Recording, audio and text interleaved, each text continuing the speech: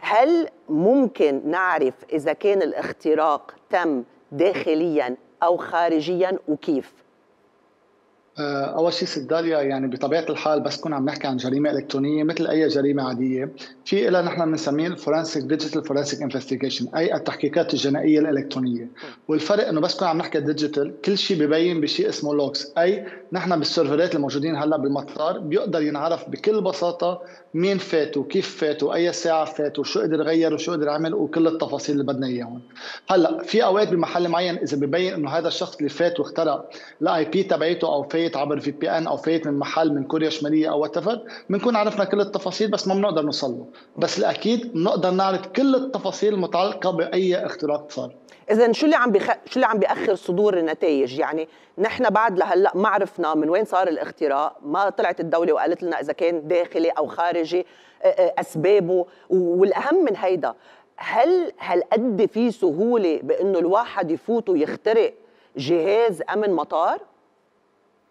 آه، ست داليا السؤال حضرتك سألتيه هو أخطر شيء هلأ عم بيصير، أول شيء أنا برأيي بالنسبة لموضوع النتيجة رح تروح مثل خبرية الخمس أيام اللي قالها رئيس الوزراء السابق من بعد انفجار المرفأ، خمس أيام ونعرف نتيجة التحقيق انها ثلاث سنين أربع سنين وبعد ما عرفنا شيء، هذا الموضوع رايح بنفس الاتجاه، هذا أول شيء، ثاني شيء بالنسبة لسهوله الاختراق يعني بتخيل وزير الأشغال قال بلسانه إنه أول شيء كل الأمن السبراني بكل العالم بمحل وبلبنان بمحل ثاني، عندنا استراتيجية أمن سبراني معمولة من ست سنين من 2018 بس بعد ما فضلوا الشباب يعملوا لها المراسيم التطبيقية تبعولها ويبلشوا ينفذوها، عندنا شبكات اتصالات وإنترنت بلبنان بشهادة وزير الاتصالات ومدير عام أوجيرو إلى من 2019 مش إنه مش معمل لها cyber security مش معمل لها صيانة يعني عم تشتغل على بركة الله. وعنا مثل ما تبين هلا يعني من بعد ما أطلقوا رجعوا الشاشات وبلشت اشتغلت تخيل ست داليا إنه عم بيشتغلوا على ويندوز إكس بي هيدا الويندوز له أكثر من 25 سنة معمول اللي هي شركة مايكروسوفت ما بقى عم تعمل له لا صيانة ولا تحديث ولا شيء. وعم تقول لك العالم هيدا أصلا ما المفروض بقى يستخدم. بعدهم عندنا كتر خير الله مطار بيروت عم بيستخدموه. نعم. ولكن آه، يعني آه، أستاذ رولان بالمطارات مطارات العالم بالمجمل هل هو سهل اختراقهم؟ لا أكيد. يعني خلينا نشيل بيروت. إيه هو خلينا نوضح شغله أول شيء ما في شيء امن 100% بس بنفس الوقت كل يلي بينعمل بموضوع ال cyber security هو تصعب الموضوع على المخترقين تا ما يقدروا يخترقوا بسهولة، وإذا اخترقوا تيكون الضرر محدود بمحل معين، اللي تبين نحن عنا إنه بمطار بيروت إنه أول شيء نحن دائما بنعرف في إشياء بتكون مرتبطة بالإنترنت، أنظمة يلي مضطرة تكون مرتبطة خارجيا، وفي عندنا أنظمة مثل موضوع تفتيش الشنط ومثل موضوع شاشات المطار، هيدي أنظمة داخلية ما المفروض تكون موصولة على الإنترنت، اللي تبين عنا حسب ما قال وزير الداخلية ووزير الأشغال إنه كل الأنظمة مرتبطة ببعضها ومرتبطة بالإنترنت، وهيدا شيء يعني أي مخترق مجرد ما اخترق شيء عبر الإنترنت فات على قلب المطار صار قادر يقصر ويعمل اللي بده إياه بكل الأجهزة والبرامج بقلب المطار. طيب أستاذ رولون كان في حالة هلع عند المسافرين وخوف من إنه آه، إذا قدروا يخترقوا آه، بهيدي الطريقة آه، جهاز أمن المطار ممكن لكن يخترقوا حركة الملاحة الجوية. هل هيدا الخوف مبرر أو لا؟ لا ما ممكن يعملوها؟ أكيد مبرر خاصة إنه نحن بمحل معين ما بقى في ثقه بأي شيء بيقولوا المسؤولين. يعني شفنا نحن وزير الأشغال بين أول يوم وثاني يوم غير بأحاديثه 180 درجة. يعني إذا بنيجي نطلع هو كان عم يجي يعتبر إنه لا هيدي البرامج ما المفروض تكون مفصولة على الإنترنت كله المفروض تكون مرتبطة ببعض. بس لما سأل عن موضوع ال air communication system يلي هو الملاحة يلي بيعطوا بياخذوا الاوامر إذا بدك من مركز المطار للطيارات ينزلوا أو يعلوا أو يوطوا أو what هذا الموضوع قال لا هذا مفصول على الإنترنت وما بيتم اختراقه. فهون السؤال كيف يا بدك تعتمد إنه لا كل شيء المفروض يكون مرتبط بالإنترنت؟ يا إذا مثل ما كنا عم نقول بالأول البرامج والأجهزة الداخلية المفروض تكون مفصولة يعني كل شيء له علاقة بموضوع تفتيش الشنط والشاشات وغيرها المفروض يكون مفصول. على أمل يكون الشيء اللي قالوه إنه موضوع كل شيء له علاقة بالملاحة مفصول عن باقي الأشياء وما بيتم خرقه. خاصة إنه وزير الأشغال بعده لهلا عم بقول بعدنا عم نحصل أضرار. يعني بعد لحديت هلأ مش عارفين ضرر تبع الاختراق وين وصل ولوين قدر شو قدر عمل أستاذ رونان آه، آه، السيد عماد كريدي بيقول إنه لازم نتوقع المزيد من الاختراقات. اليوم أنت من خلال كلامك وأجوبتك اللي عم بتقولها تقريبا في أنا كمان أقول إنه إيه اللي عم بيقوله أستاذ عماد مزبوط لكن إنه إيه لازم نتوقع المزيد من الاختراقات نسبة للهريان اللي يعني سائد بالدولة. صحيح أو لا؟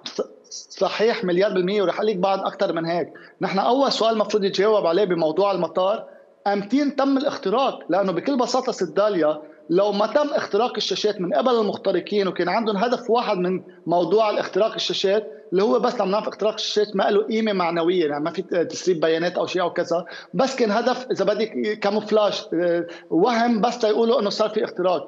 هل يا ترى نحن بنعرف إمتى مضبوط تم الاختراق بمطار بيروت؟ لأنه تم الإعلان عنه من يومين ثلاثة بس شفنا الشاشات. بس هل يا ترى بنعرف يمكن الهاكر له سنة وسنتين وثلاثه قاعد بال system جوا ونحن ما معنا خبر؟ فكرمالك نحن عم بقول لك على العميانة كل أجهزة الدولة وكل برامج الدولة وسيرفرات الدولة والبيانات تبعهم كل شيء مخترقة لآخر الدرجات وإلى سنين مخترقة والكل معه خبر والكل ساكت على الموضوع والكل متواطئ. طيب اليوم آه شيء بخوف اللي أنت عم بتقوله. اليوم آه إذا كانت أنا بشك إنه الدولة تقدر تعمل هذا الشيء ولكن إذا اليوم نحن بدنا نصلح الخلل اللي حاصل شو الخطوات اللي لازم تتبعها الدولة لحتى نقدر أقل نحس حالنا بأمان إذا كنا مسافرين أو ناس جايين يعني السياح جايين لعنا اليوم. أنا بعرف كثير ناس آه، كان في عندهم خوف وحتى في جزء منهم قال لا ما في داعي لحتى أنزل على بيروت إذا أنا على القليله مش ضامن حالي إني أعرف أوصل. صحيح 100% وأنا واحد منهم سداليا بهذا الموضوع. أنا هلأ ما بقى انزل على لبنان لسبب كثير بسيط. أنا سالت ثلاث أسئلة لوزير الأشغال. لما اجى قال ما في تقصير بالعمل بهذا الموضوع واللي صار منه نتيجة تقصير. أول سؤال أمتين ونحن بحقنا كمواطنين نعرف. أمتين آخر مرة بالمطار جابوا شركة أمن وحماية تعمل تقييم للمخاطر بالأمن السبراني بموضوع مطار بيروت وتضوي على موضوع الثغرات لاصلاحها حقنا نعرف. أمتين اخر مرة تم تحديث الأجهزة والبرامج وال hardware يلي موجود بال بال بال بالطيران يلي شفنا بعدنا عم يستخدموا ويندوز إكس بي أمتين اخر مرة صار تحديث وصار تطوير للبرامج.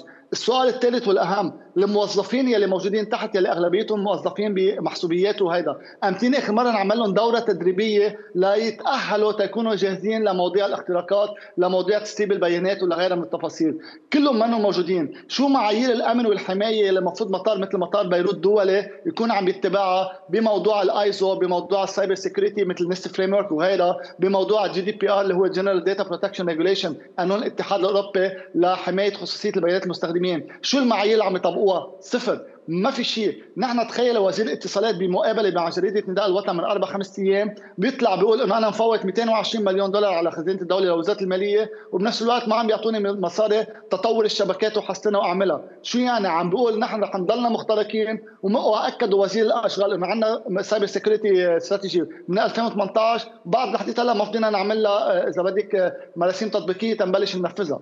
وضع مأساوي جدا وأكثر ما بنتخيل والقادم اسوء بكثير من يلي صار. طيب بما إنه يعني هيدي القصة طافت على الوجه وأنت مثل ما عم بتقول حضرتك هلأ إنه آه، آه، معايير سيئة جدا هل ممكن هيدا يأثر على وضع لبنان؟ عم نحكي من حيث الملاحة الجوية على وضع لبنان آه، مع الشرك شركة الطيران الثانية اللي هي اليوم ممكن تخاف على أمنها وعلى ركابها من إنه يجوا على لبنان؟ أكيد سداليا نحن ممكن نحط مطار لبنان على البلاك ليست وطالما إذا في خطر على الطيران إنه ينزلوا بمطار لبنان ما بقى حدا شركات الطيران والدول رح ترفض تنزل طياراتها بمطار لبنان. لأنه برجع بقول هذا الشيء اللي صار بعد لحديت هلا يعني نحن بنعرف بس يصير في اختراقات بأي دول العالم امبارح وزير الأشغال عم بيقول إنه إيه بكل العالم بصير في اختراقات. إيه بس لما بصير في اختراقات وأنت عامل كل شغلك هذا تحصيل حاصل. بس لما أنت مشرع كل الابواب وبصير في اختراقات وحتى تخيل كيف له عين الوزير يقول نحن بعد ما عملنا التحقيق مع حدا من الموظفين بعد يومين من الكارثة اللي صارت. يعني إذا أنت بعد ما عملت تحقيق مع الموظفين شو ناطر تعمل تحقيق مع الموظفين؟ تتعرف كيف صار الخلل ومن وين صار الخلل. فكرمال هيك نحن هلأ لما بده يشوفوا كل العالم هالقد في استهتار بمطار بيروت هالقد في استهتار بأمن وسلامه المواطنين بالبيانات تبعولهم بعد هلأ ما طلع بيان بيقول للعالم شو كانت الأضرار الناتجة عن موضوع هذا الاختراق؟ أكيد هذا الشيء وصلنا sooner or later المستشار في أمن المعلومات والتحول الرقمي الأستاذ رونا أبي نجم أنا بتشكر مشاركتك معنا. شكرا لك.